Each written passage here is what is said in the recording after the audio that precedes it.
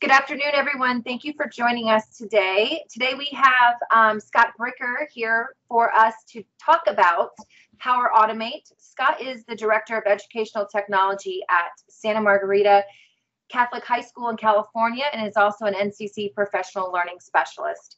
Um, he is here to share us with us um, about Power Automate, and we all thank you for being here. And if you have questions, feel free to add them in the chat. And Scott, we are all set. Awesome. Thanks, Megan. Can you hear me okay? Yes, can hear you great. And then also want to let everyone know that we are recording. Perfect. Thanks, Megan, and thanks for moderating the chat. And uh, thanks to all of you for being here. So, super excited about this session. And right off the bat, um, I'm, I'm sure others have said this on these live events, but just kind of a, a, a precursor here, a disclaimer. You can't cover everything in a half hour with Microsoft Power Automate. So I'm going to do things a little bit differently today and just jump right into the tool itself and show you how to create a quick flow. And then I'll circle back at the end and talk about some of the vocabulary and the inner workings of Power Automate. I find sometimes that if you dig into that too soon, that can kind of take you a while. And I really want you guys to see uh, how simple of a tool this can be. So whether you've dipped your toe in the water of Power Automate or you're really spending a lot of time with it or you've never even heard of it and you're coming across it for the first time, I hope you get a sense after the next 30 minutes just how impactful Power Automate can be. And while it may look a bit confusing and overwhelming at the beginning, once you dive into it and start playing around with it, it actually does get a little bit easier. It's kind of like riding a bike. It's a little bit frustrating at first. You're going to fall down, you're going to make some mistakes, um, but after a while, you're going to get the hang of it and start really figuring out uh, how to use it and how it can positively affect your workflow. So let me just give you a brief scenario of kind of where we started with this. I, I've been hearing about this for a couple years now, working with Andrew Fitzgerald, who I'm sure many of you know, an amazing educator out here in California, um, who's like revolutionized his practices with Automate and Power BI and Power Apps. And then um, our good buddy from NCCE, Jason Mockerman, and I have been working on a bunch of stuff, just tossing ideas back and forth. And I really got inspired uh, to use that, that, use those ideas in this tool around a particular scenario. So for us, um, as Megan mentioned, I work at a Catholic High School, 912 High School in California, and transfer students are a big deal at the high school level for academic reasons, for athletic reasons. Um, we have an international school population, about 85 to 100 international students. So we have kids coming out, uh, coming in and out at, at all different times of the school year. Uh, you would think it'd be all at the beginning and try and keep it organized, but it just doesn't work that way. So what happens for us is when a transfer student comes in, this list of this litany of, of tasks that happens here on the right uh, has to get put into place. And so what usually happens is our uh, admissions director will start an email and he'll email the 15 or 16 people that have to be on this. And you all know what happens from there, like replies and reply alls and did I attach the file? Here's a new file, all this back and forth and it's not just one student at a time it's sometimes three and four and five students at a time that are in this transfer student protocol so you've got tens sometimes hundreds of emails being bounced around on a monthly basis and it, it's really frustrated me over the last couple years and again in, in, kind of in conjunction with what i've learned from my colleagues on power automate uh, really inspired me to simplify this process so I'll circle back to this at the end just to show you a big picture of what um, a big flow could look like. But I wanted to start with something a little bit simpler. So something that we all use, uh, forms, right? And data collection. And whether it's a back to school night, open house, um, incoming students, just surveying the students in your class, uh, collecting forms and the data we get from forms is a great way to draw some information from a certain population. So I just kind of created this simple form. I've, I've got it, I'm doing it uh, for a back to school night. So I've got parents' first and last name. Uh, maybe I teach three different classes, so I want to have them let me know uh, in which class their student is, just so I know as a quick reference. And I've got a spot for uh, two parent email addresses here, and then just a text box if they want to share any particular information about their student. So the goal of this is I want to send an automatic uh, kind of welcome and thank you email to the families. So they come into back to school night, they fill this form out, and then by the time they get home, or even in a matter of minutes, they've got kind of a, a welcome or thank you email from me. All right. So um, so keep that in mind. Again, first name, last name. I've got the courses, a couple email addresses, and room for comments. So I'm just going to flip over to Power Automate here. All right. And again, this is uh, directly on the homepage. If you don't see the Power Automate tile, it's possible that you just haven't used it before. Of course, it always depends on um, how your individual 365 tenant is built, but you can always find it under the All Apps. Um, but you do have to make sure that your IT admins have turned it on. There are some cases where uh, districts and schools and organizations have turned it off. So do make sure it's on and you'll be able to see that tile. So again, just diving right in, don't don't be um, afraid of or intimidated by all the different clicks you have. We'll come back to this in a minute, but I'm just going to go right to create. And when it loads, so I've got a bunch of different options here, and I'm going to click on an automated flow. So I want to automate this process, and I want it to be triggered by a designated event. That term trigger is going to be very important, and I'll come back to that in a minute. So I'll give it a name.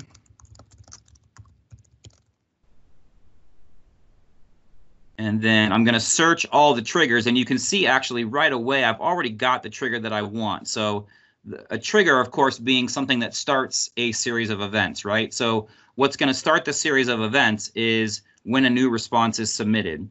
If the trigger you're looking for doesn't appear, I can just search for forms and then all the different triggers that come up with that tool will show up in that list. Of course, this is this is the main one and the most popular one that pops up is when a new response is submitted. So I'm going to click create and now I'm into my flow. So here's the beginning. When a new response is submitted, it's going to ask me to pick the form. When I click on the drop down menu, it's going to search all of the forms that I have on my 365 account. So I'm signed in with my 365 credentials. So now it's linked to every team, every form, all my groups, all that kind of stuff. So it kind of self-populates and you don't it takes some of the the workload and the stress out of it. So I'm going to select this uh, back to school night parent info. And so the trigger, this flow is going to begin when a response happens in this form. All right. And the next step that we always add, and again, I'll search forms, is get response details. So I'm going to add that as a next step. So whenever you use new response submitted as a trigger, you've got to have get response details as your next step. So what this does, this first step, recognizes that the form has been submitted. The second step is going to pull all of the information from that form. So it's line by line, going to pull that and kind of create a database uh, of fields that you can fill in later. And we'll get to that in just a minute. Okay. So under unique identifier, again, I'm going to connect it to that same form. And under the unique identifier, here's what I love about Power Automate is there's a lot of artificial intelligence built into it and it can kind of predict where you want to go. So you notice all I did was click in the box here under the response ID and I got this little box over the side of suggestions of dynamic content. So dynamic content, of course, being content that updates in real time, right? As as information comes in. So I've got this list of response notifications. This is the response ID. Notice that ties back to what it's asking me for. So I'm going to click on this. And now I've got everything ready to go. So when a new response is submitted, uh, Power Automate is going to look at that form and it's going to pull all the list of responses from that form. All right. And then my next step here is to go and send an email. So I can do this a couple different ways. I can look it up under Outlook and I've got all the different Outlook options that pop up, or I can just type in send an email, and I've got all these different options. I'm going to use the, the Outlook version, gives me a little bit more uh, flexibility and some more capabilities. And I'm going to have this send an email as my next option. Okay, so notice we've got some asterisks here. We've got some required um, information that we need to put in here and let's just show you how easy it is to fill it in. So in terms of email addresses, I'm going to click on this. And on the right hand side here, I've got add dynamic content. So remember before we pulled the response details and now what you notice is on the right hand side I've got this content from the form that I can pull in. So I'm going to send it to parent email 1 and parent email 2. So it's automatically going to pull that information from the form. By the way, if only one email is entered, it's just going to skip that second one. It's not going to error out or send you a um, an error message or anything like that. It's just going to skip it. So in the subject, uh, welcome to NCCE High School. If only that were a place and we were all teachers, it'd be an amazing school. And then just a quick email. Um, so I will say, uh, let's go, dear last name, family. So again, I'm just typing in the email. You might have a template before, uh, you know, pre-created. You can do this on the fly. And then wherever I want to fill in information in the form, I'm just clicking on that space. So I've got dear and then whatever their last name, family. And I will say, uh, welcome to our science class. And in that case, I'm going to go to the course right here. So it's going to pull the actual course name. 2021 school year. I'm looking forward to getting to know your student. And then here are the comments you left me. Please verify these are correct. And then here I will enter the information about what they want to share about their student. And so you can personalize this as, as much as you want. You can um, you can add as much of the information as you want in here, um, customize it, make it as long as you want, as short as you want. Um, I'll click save. And so just to review, let me expand all this and I'll zoom out here just so you can see it all. So here's what's going to happen. I've got this form.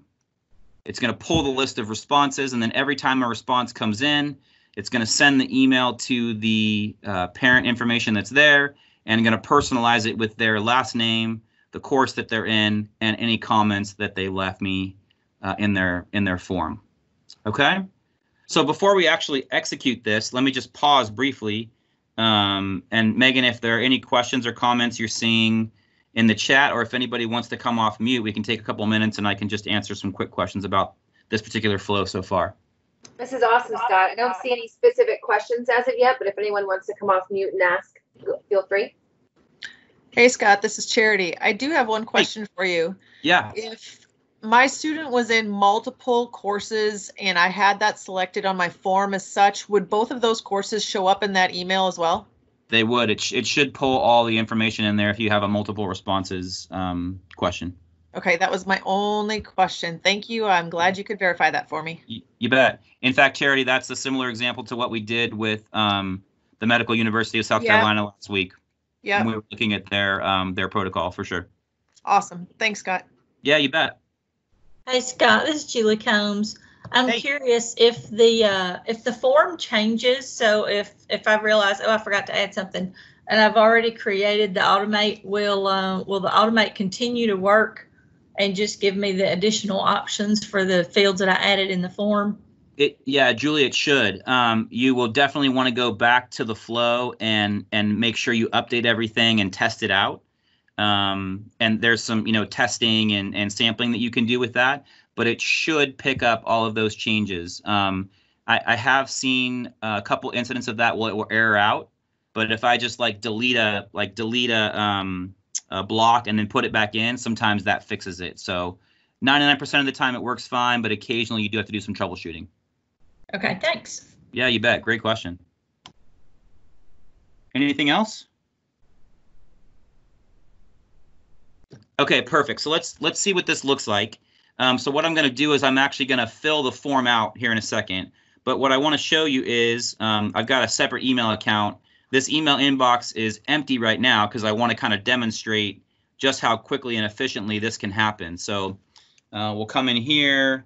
Uh, let's make this uh, a little basketball oriented since the NBA is coming back in.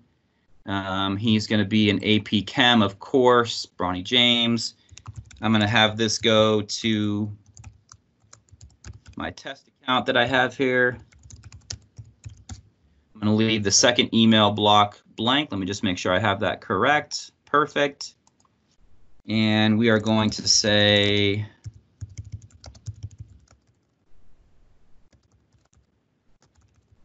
needs help with time management, which we all need these days. So just a quick comment. Okay. So very simple. And again, don't forget, I know you all know this because we're all, we we love forms, but things like uh, the QR code, you can make this a touchless survey. Parents can come in and scan the QR code on back to school night.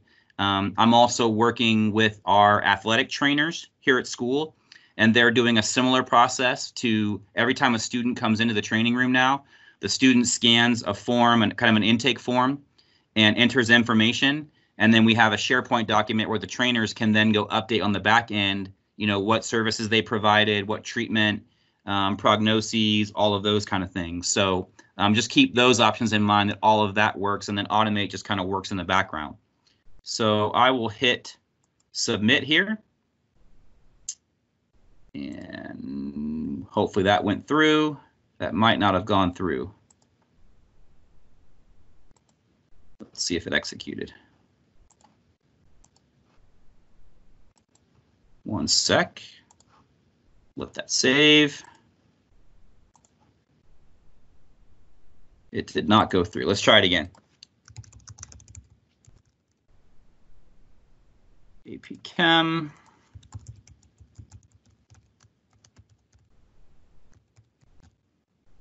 Email address.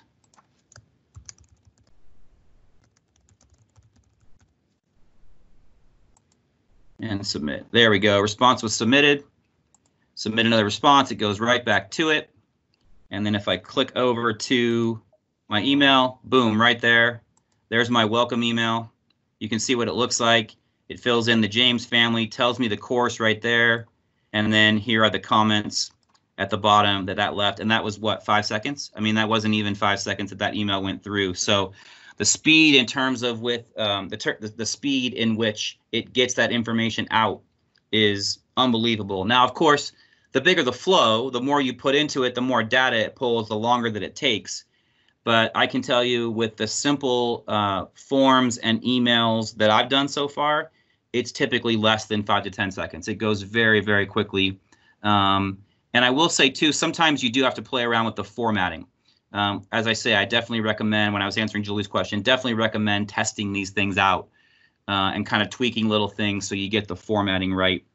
Um, and so that it looks professional and, and, and whatnot when it gets to your family. So that's just like a simple way to get into Power Automate and building flows. Let me just take a few minutes to walk you through some of the basics now so you kind of get a bigger picture of what it can do and how to navigate once you're in Power Automate. And then right at the end, I want to circle back and show you the flow that uh, we're building to uh, meet the needs of that transfer student process. Again, just at the end to kind of dangle a carrot out there, if you will, and show you a big picture what it can look like. So um, from the home screen in Power Automate, you'll see a couple different things. You've got all kinds of different uh, tiles to click on and things like that. Um, you've got templates here. You've got some of the most popular tools that you can put into Flow. Um, and you've got also some, um, this is almost like little tutorials or um, step throughs of how you can do approval requests and conditions and all that kind of thing. So um, in addition to templates down below, let me walk you through some of my favorite areas. The first would be on the My Flows page. Um, as you build this out, and in fact, let me switch over to my school account. And under My Flows, you'll see all the different areas here. So um, when you get to My Flows, you've got a couple different areas here. So on the first page, these are flows that only I'm working on. And just as a reminder, in terms of terminology and vocabulary, Power Automate is the tool and flows are what you create. Flows are the things that you create. So as you, some of you may remember, this tool used to be called Microsoft Flow. Um, and they've lumped it since lumped it in with all of their Power Platform. So Power Platform is the bigger picture, and inside of that you have Power Automate, Power BI, and Power Apps. So Power Automate is the tool, and flows are the things that you create that get executed. So I've got my flows. These are flows that only I'm working on. Um, I love this team flows. So here's that transfer process. Again, I'll come back to it in a minute. So I'm currently co-editing this with our activities director and our admissions director. So these become team flows now because I have multiple people working on them. So we can all kind of edit at the same time. Um, now, just a, a quick mention there. It's not as seamless as co-editing a Word or document or Excel um, because you have to be careful when you save and when you make changes, kind of like computer coding. So there's definitely a little bit of a, um, uh, a work in progress, kind of an adjustment period to figuring out how to do that. But you can share flows so that you can co-edit uh, as you move the process forward. And then business process and, and, and user interface flows. These are kind of some higher level uh, type flows that you can build. Um, but just a quick look at what the My Flows homepage looks like. We talked about create, where you can create a flow.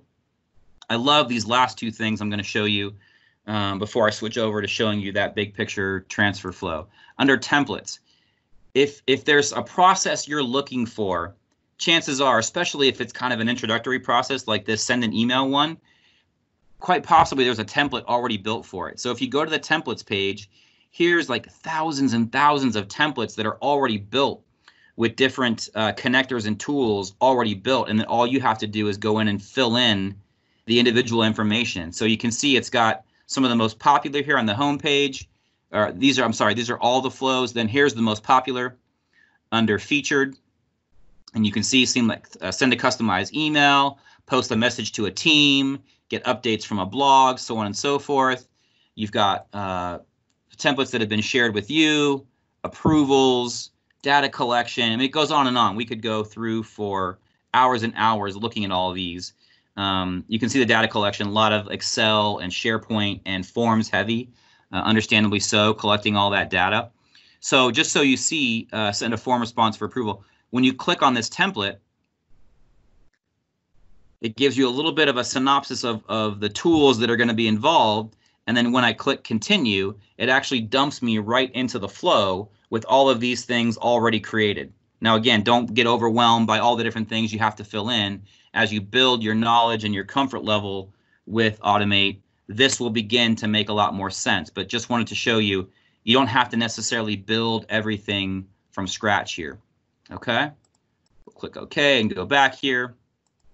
So anyway, that's templates. So definitely explore that if you want to kind of you know dip your toe in the shallow end, so to speak, um, and get used to some of the things that where the, the the framing and the shell is already built. Templates might be a great thing for you. The other piece I'll mention is this connectors tab. Connectors are basically the apps or tools that link everything together in a flow. So with the one I showed you earlier, we used two connectors. We used Forms and we used Outlook, right? And we connected the flow together using those tools. So um, it doesn't have to be just Office 365 tools.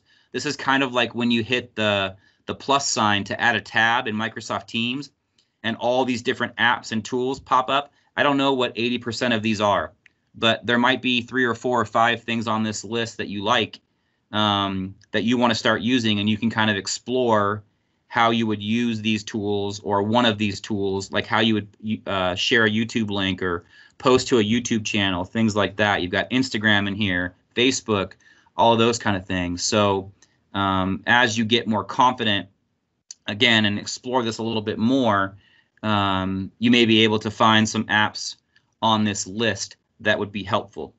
Okay.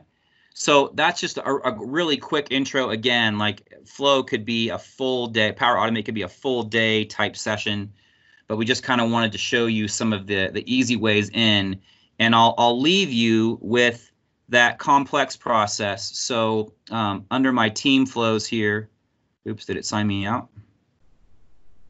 Oh, here we go. Back to my flows. So remember that transfer student process. Uh, student comes in and has to go through like 15 different channels. So here's what it looks like. And I may have to zoom out so you see the whole thing. Um, so here's basically what happens. The form comes in, we pull the details. Uh, right away, we've got a transfer student team. It automatically creates a channel in that team with that student's name on it. So all communication is now in that student's channel, not via email changed back and forth. So we create a channel, We send a thank you email to the family. Notice I've personalized um, this title here. You can actually click on the three dots and rename these things to personalize it and make it a little bit um, easier to reference the information. I kind of like that. And then we also have um, an athletic form. So there's the question in this form if they're interested in becoming an athlete at Santa Margarita.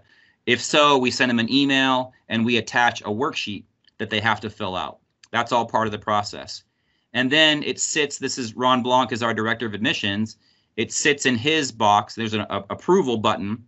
And then Ron comes back in a day or a week and he either accepts or denies the student. If he denies the student, we send him a thank you email. If he accepts the student, then this whole chain of events happens. We use Planner, so we create a bucket, we create 15 tasks.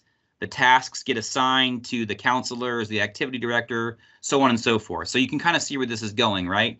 In addition to we post a message letting the group know that that student has been accepted. So this is basically two clicks.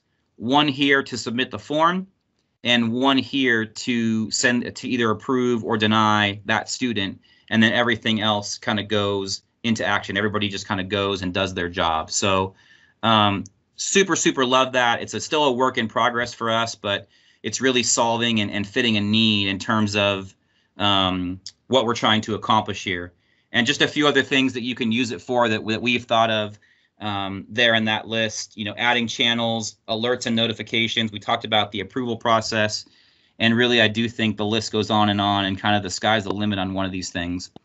So, um, anyway, have at it. It's amazing.